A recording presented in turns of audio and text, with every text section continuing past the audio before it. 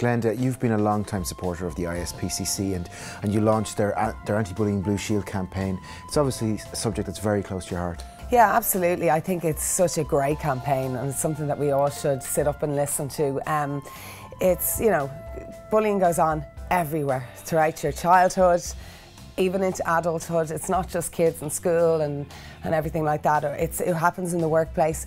It also happens online now, which I'm finding uh, quite a lot, like Twitter, Facebook, well, not so much Facebook, Twitter, Twitter, big time. Um, but you know what? I went to an all-girls school. It was kind of tough sometimes, but um, and girls can be quite bitchy. And you know people don't understand that the long-term effects it has on you like it can destroy a person. It can kill their confidence.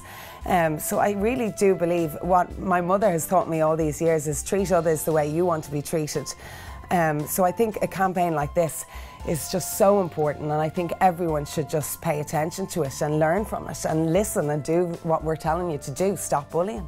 And I think what, what some people don't realise is that a flippant throwaway comment on Twitter, some people can take that home, take it to heart and it can have a real long-term effect. Yeah, absolutely. Like even with my job, I'm on the show, I'm presenting a TV show and people could tweet in telling you you look great. Now you can't always take good messages, you know, the good comes with the bad and then you get awful messages where people are actually just just firing horrible comments at the way you look, nothing to do with your clothes, the way you are, the way you were born, you know, which can be pretty crap. And I think it's all about them hiding behind a computer screen or their phone or whatever it is because a lot of times when you come face to face with people they, they don't have the balls excuse me to to say exactly what way they feel but they do seem to be able to do that when they're they're hiding behind a screen for a lot of, of kids and adults alike this is a real daily problem for them would you have any advice don't be a bully, first of all. And if you see it happening, try and like it's very hard when you're a kid, but to tell a teacher you're known as a rat or whatever. But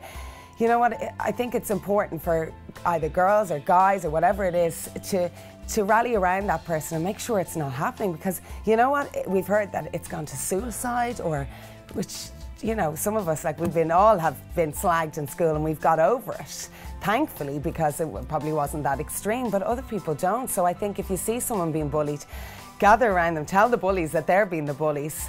Um, but it's a hard one. It really is a hard one because, and especially Irish people, they tend to mind their own business a lot, so they just keep away from it.